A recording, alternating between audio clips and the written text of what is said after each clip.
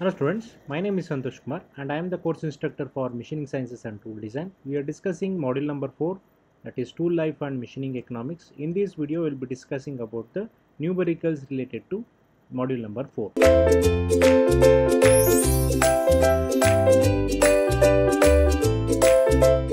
So we'll start with the first one. So that is it is required to select a cutting tool to machine 10,000 components based on the criteria on the minimum cost. So two tools are given that is tool A and tool B as you can see in the slide. So the estimated machining time component is 0.8 minute for either of the tools and they are operated at same speed and depth of cut that is cutting parameters is same and the machining time per component is also same that is 0.8 minutes. So the cutting parameters, tool life constants and costs of two tools are shown below that is uh, for tool A and tool B NCV machining cost that is rupees per hour and resharpening cost that is rupees per resharpen is given for A and B tool. So which one would you recommend? So that is whichever costs you less you would recommend that one. So we will find out what is which, which tool the overall cost will be very less. So for that we need to first calculate what is the machining cost so to calculate that so we need to use the uh, equations which we have uh, discussed earlier. So that is what is the total machining cost is a summation of uh, labor cost uh, resharpening cost. Let us first uh, calculate the machining time machining cost. That is uh, total machining time will be equal to number of components into machining time per component. Machining time per component is given is let's say 0.8 and it is same for both. And 10,000 components are given so it will be 8000 minutes. So 8000 minutes is the total machining time in case of tool A and tool B both. So if you go for tool A so where N is 0.16 and C is 160 and V is 80 meter per minute. So if we have a Taylor's tool life equation Vt to the power of N is equal to C. So we get tool life TA will be equal to 76.11 by substituting the above values. So for 10,000 components, this is uh, tool life of a particular that is tool A is 76.11 but we need to run this uh, um, we need to do this operation for, for about 8000 minutes. So for 10 10,000 components number of resharpening required will be because at every 76.11 minutes the tool will fail. So we need to go for a resharpening. So for 8000 it will be 105 times resharpening has to be done if you are going for a tool A. Similarly, if you are going for a and also we need to calculate the uh, what is the resharpening cost which is required. So in case of a tool A, so if we calculate the resharpening cost, so that will be uh, 2 into 105 for because we are resharpening it for 105 times and each time it costs uh, 2 rupees and total cost will be equal to total cost of machining plus resharpening cost. So that is uh, you have a 8000 uh, minutes you are running uh, the uh, you are cutting the workpiece so 8000 by 60 will be giving you a number of hours. So per hour the 15 rupees is the machining cost. So 15 into uh, number of uh, hours will give you the total machining cost in hours machining cost per hour plus resharpening cost. So totally we'll end up with 2210 similarly so if we do it for tool b so we'll be getting so we'll be using the same uh, equations which we have done it for tool a. So here we'll be getting tb will be equal to 51.54 minutes. So we'll end up with uh, number of resharpening required is 155 so previously it was 105 here it is 155 so the total cost required will be going up because you are going for more number of resharpening and each resharpening is costing you around 8 rupees which is much higher than the tool A. So finally we'll end up with uh, 2573 rupees. So that is uh, if you use a tool B so which is much higher than tool A so hence tool A should be used. Similarly so we'll go discuss about other numericals also in the next slide.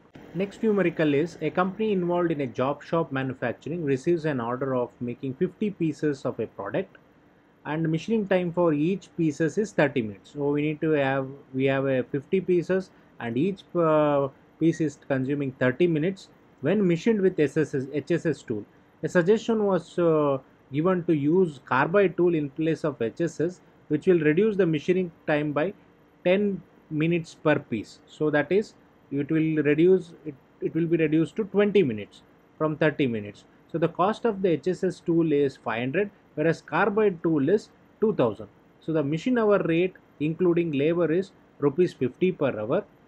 And if you are given a job of deciding whether or not to make the investment of carbide tool so what would be the recommendation? So whether to go for carbide tool or not to go for carbide tool so if you go for carbide tool your uh, machine time is decreasing uh, from 30 minutes to 20 minutes but the cost of the tool is increasing from 500 to 2000 uh, well let us do the calculation. So if we do the calculation for this as all other costs are same the cost of production using HSS will be equal to number of uh, pieces into cost of machining plus cost of tool so number of pieces is same that is 50 in the both the case. Uh, cost of machining is 30 into 50 uh, because 30 is the time required and 50 is the machining cost divided by 60 plus 500 is the cost of the tool. So I'll be getting 1750 if I go for HSS tool. Similarly if I go for a carbide tool so where uh, it will reduce uh, to 10 minutes. So it was 50 into 10 into 50 by 60 so plus 2000 is the cost of the tool. So finally I'll end up with 2417 rupees. So if you compare the cost the HSS tool is costing you less so in for uh, compared to carbide tool. Similarly so we will do the other numerical uh, which is related to uh, tool life.